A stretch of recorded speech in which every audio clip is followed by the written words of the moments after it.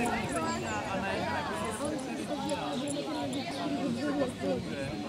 tak ale my budeme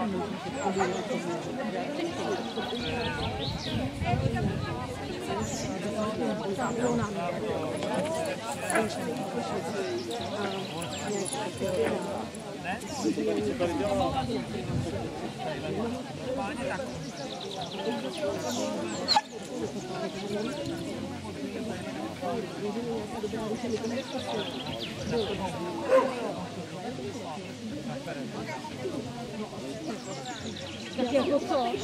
Ty. Já si bych oni byli všichni zdraví, jo, měli se čtyři. No, no,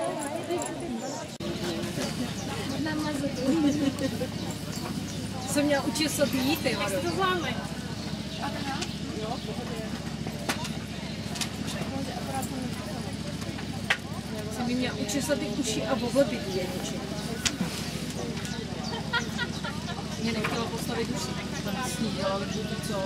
Jo, nevím, já to do zádu, no. Ona ale i při tom při odložení sedě prostě ona ona uši vzadu a prostě čekala, co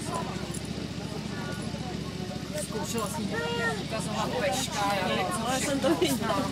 Já říkám, že prostě ne, takže tam ona se má i v tréninku, že prostě budou začkovat pešky.